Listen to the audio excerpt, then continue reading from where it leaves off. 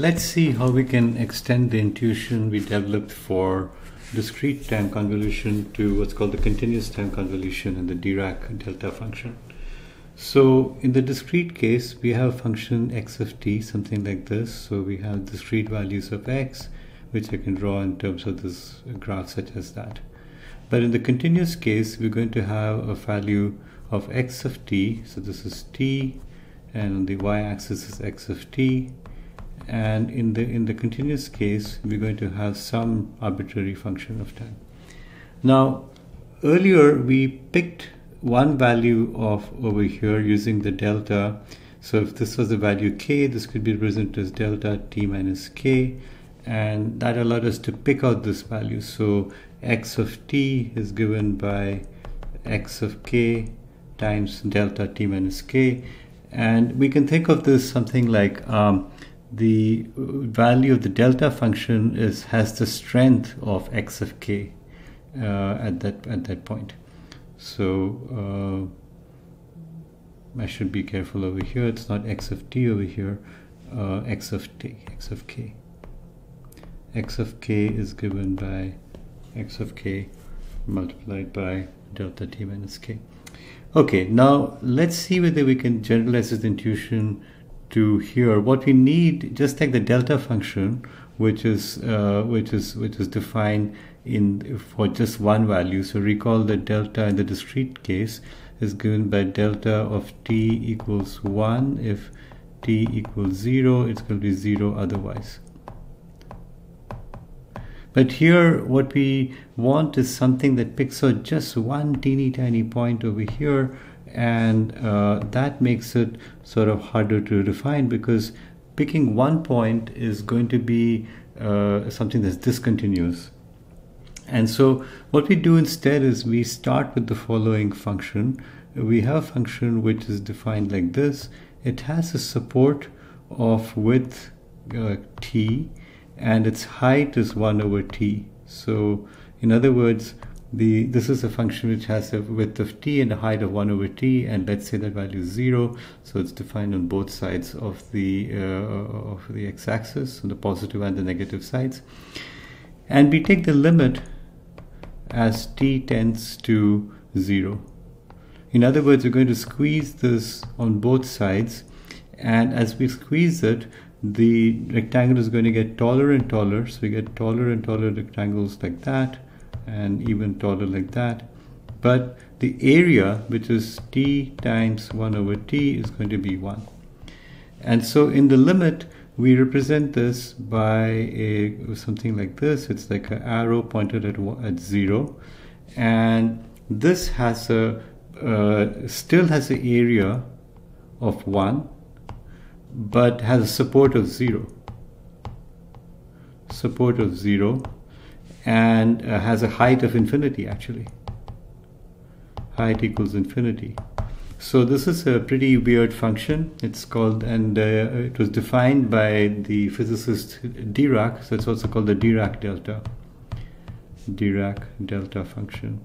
And more precisely, we define it like this: integral from minus infinity to infinity of delta t uh, dt equals one. So what we're saying is that the mass, uh, the area under the curve of delta t is one and the delta t equals 0 for all t not equal to 0 and the delta t at 0 is undefined. So we don't know what it is. So uh, I'm not going to go through a more formal definition because this is uh, mathematically somewhat uh, complicated, but we'll just define it in this particular way, and this is the Dirac delta function. But that gives us enough for us, building on the intuition in the discrete case, for us to define the uh, uh, to use this for for defining the continuous time convolution function. So let's start as before. So remember we had the selector. So instead we'll say something like this: xt multiplied by delta t is going to be nothing more than x0 delta t. And why? That's because just as we saw over here in the discrete case, xk is xk multiplied by delta t minus k. So over here, when know, we're talking about um, t equals, uh, this value over here is the value of x at 0.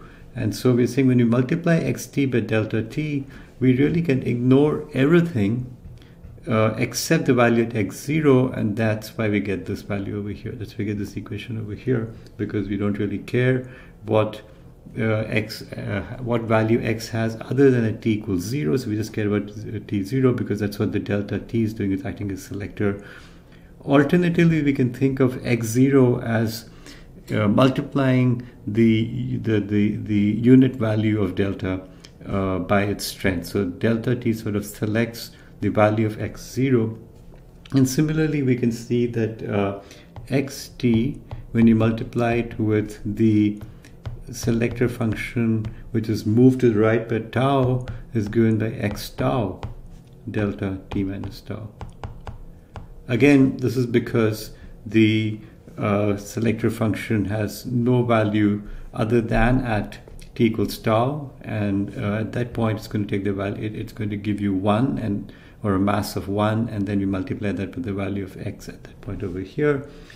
And so uh, we can therefore say that xt then is this given by putting together all these little slices integral from minus infinity to infinity x tau delta t minus tau d tau and that is uh, basically putting back together xt from its slices, where each slice is obtained by using the delta function or the time shifted delta function over here.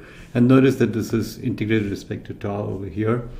And more generally, we can say that xt convolved with yt is given by the integral, integral minus infinity to infinity, x tau y t minus tau delta, sorry, d tau. uh, d tau. And this defines the convolution of two functions. And again, what you see over here is that if we define zt to be the convolution of two functions xt and yt, xt convolved with yt, then zt is given by this integral minus integral minus infinity to infinity x tau y t minus tau d tau and the first thing is so for each value of t, for each value of t over here, to compute uh, zt, we need to uh, compute an integral. And also note the presence of this helper variable, this additional variable delta the tau, and we'll see that this kind of helper is going to show up all the time when we start looking at uh, transform domains where we'll introduce an additional helper variable for us to get what we want. So uh, all this is just to give you a kind of intuitive sense of what does a convolution function mean, why does it look this way, and uh, we're going to use this convolution function when we start analyzing uh, systems, uh, signals and systems. And uh, so next we're going to look at signals, which we haven't looked at so far.